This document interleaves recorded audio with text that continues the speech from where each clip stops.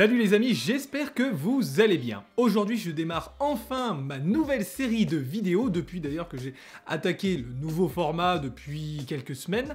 Je vous présente enfin les vidéos de scandale du médical. De ce fait, on parlera une semaine sur deux d'un scandale du médical et la deuxième semaine justement d'anarchie en psychiatrie, donc de la psychiatrie. Évidemment, pour bien commencer, on va parler d'une affaire hmm, très sombre qui a démarré dans les années 80 pour se terminer jusque dans les années 2000. Les années 80 et 90. Tu parles de ces années un petit peu pourries là où il y avait des boys bands, on portait des bananes, des kawaii, euh, des baladeurs cassettes et des baladeurs CD, et où tous les pédophiles avaient le droit de passer à la télé à des heures de grande écoute. Mais je t'emmerde mon petit pote, j'ai pas besoin de ton aide pour me sentir vieux et con hein. Alors, le scandale du sang contaminé, qu'est-ce que c'est? Eh bien, c'est ce qu'on va découvrir parce qu'on va faire du sale dans le médical.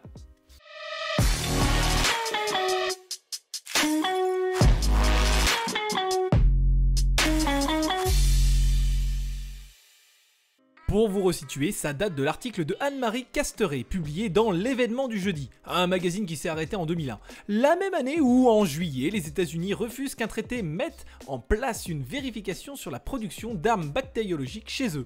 Ces armes étant pourtant interdites officiellement depuis 1972.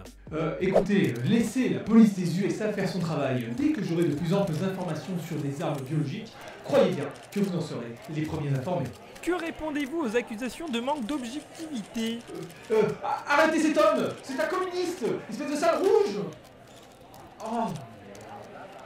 Cet article prouvait que le Centre national de transfusion sanguine a sciemment distribué du sang contaminé à des patients.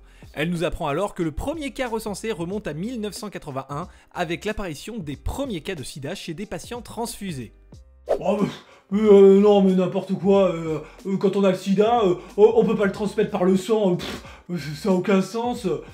Par, contre, si vous essayez sur la même cuvette de toilette qu'un malade du sida, oui, là, là, oui, voilà, vous pouvez l'attraper, oui.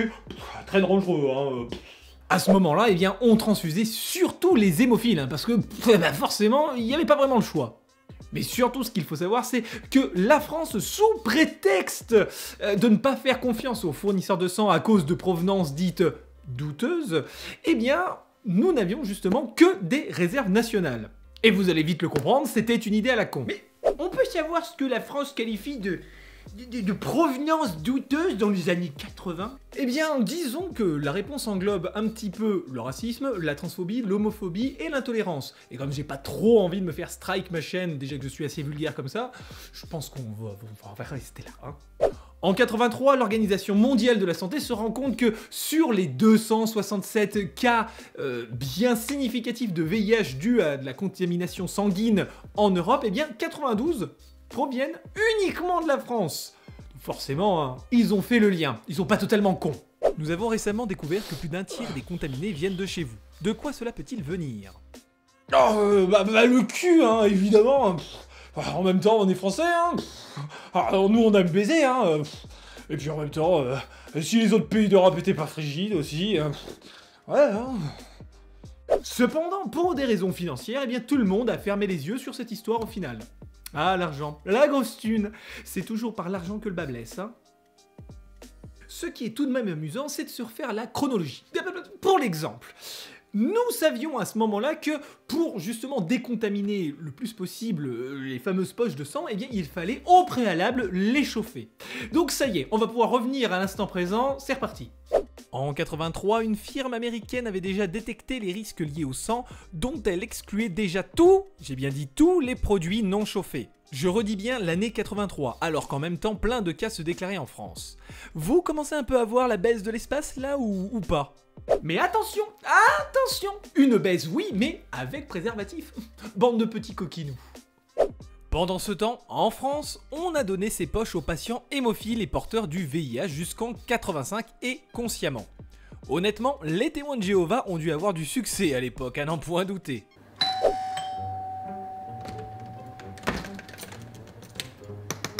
Bonjour Avez-vous déjà entendu parler de Jéhovah et de Jésus-Christ notre Sauveur?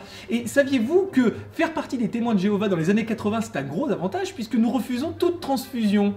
Ah non, désolé, moi je fais déjà partie de la scientologie. Excusez-moi, mais Tom Cruise est beaucoup plus sexy. Hmm. Et en prison, tandis qu'une circulaire de 84 demandait d'écarter les dons de sang des personnes à risque, bah, bah, on s'en foutait et on continuait de prendre les dons, bah oui, allez, allons-y, simplement sous prétexte qu'on manquait de poches de sang. Bah oui, c'est vrai, si on manque de quelque chose, autant prendre un truc tout daubé du fion. Bah. Et oui, vous avez très bien entendu. On connaissait déjà les risques liés justement à tout ce merdier, mais on a sciemment continué de donner du sang possiblement contaminé à toutes les populations dites déjà à risque et aux minorités évidemment. Ah, la France, cette terre d'accueil où les droits de l'homme sont une priorité.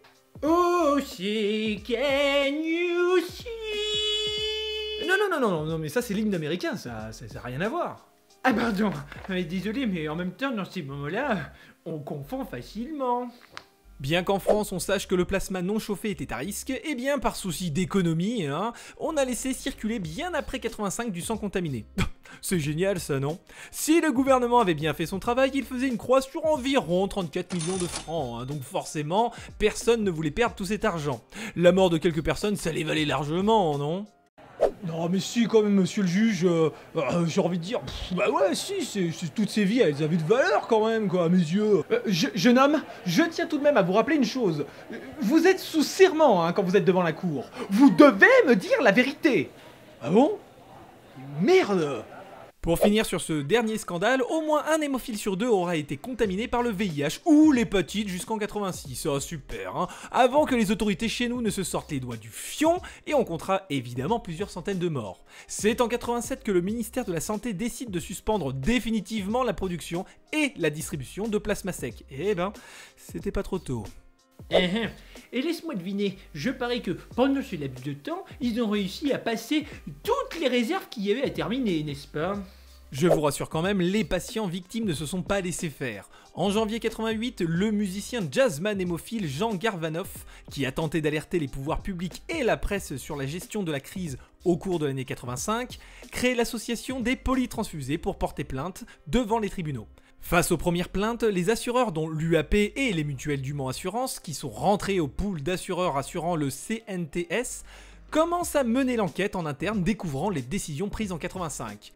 Ben, inévitablement, hein, lorsque les mecs ont enquêté, justement, eh ben, ils ont subi une pression bien plus forte que celle subie par un sous-marin lorsqu'il descend dans les grands fonds, alors c'est peu dire.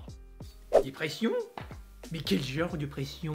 C'était de la pression sous forme de thunes Ah oui, Ah oui, oui, mais là ça me paraît bien, oui, logique, évident, tout ça, tout ça. Et ce qui devait arriver arriva fin des années 90, plus de 400 recours devant des tribunaux administratifs contre l'action de l'État ont été déposés. Ah, ça doit faire un petit peu mal sur le moment. Et heureusement que ça existait pas tous les trucs du genre, euh, les téléphones portables qui peuvent prendre des vidéos, euh, TikTok, toutes les merdes dans le genre, Ouah Sinon, j'imagine même pas ce que le gouvernement aurait pris dans sa mouille. Ben, je vous rassure quand même, hein, bien sûr, les victimes ont en même temps porté plainte contre les centres de transfusion. On pourrait se dire que tout est bien, qu'il finit bien dans le plus beau des mondes, tel un magnifique conte de fées. Sauf que là, on est plutôt dans un fait divers. De ce fait, eh bien, le gouvernement ne s'est pas vraiment laissé faire. Non content d'avoir déjà participé à la contamination de centaines de personnes, le gouvernement a exigé de la part des plaignants d'apporter la preuve qu'ils avaient bien été contaminés à cause justement de la transfusion et non pas d'un élément euh, externe à la transfusion. Le problème c'est qu'à l'époque, comme il n'y avait pas encore de sérotech, eh ben les patients se retrouvaient sur le carreau bien bien bien baisés. Bon, je vous rassure quand même tout de suite, hein, la plupart des plaignants ont accepté l'indemnisation que le gouvernement a proposée, euh, même s'ils n'apportaient pas effectivement la preuve qu'ils avaient été contaminés par une poche de transfusion. Mais monsieur le juge, je vous promets, je n'avais pas le sida, j'ai reçu une transfusion et maintenant j'ai le sida.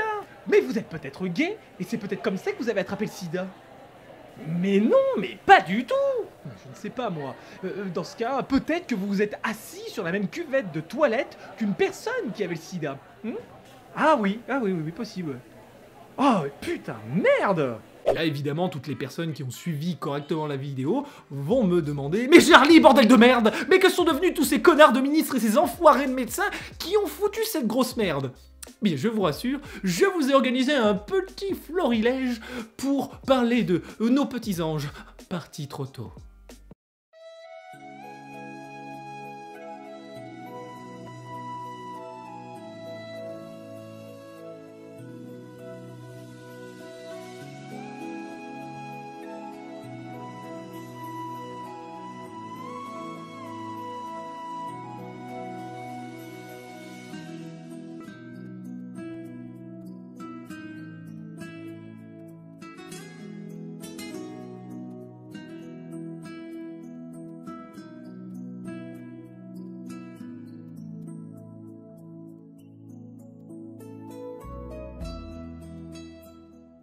En tout cas, je tiens à vous remercier d'avoir regardé cette nouvelle vidéo, donc cette nouvelle série qui s'applique au nouveau format qu'on a débuté il y a déjà quelques temps.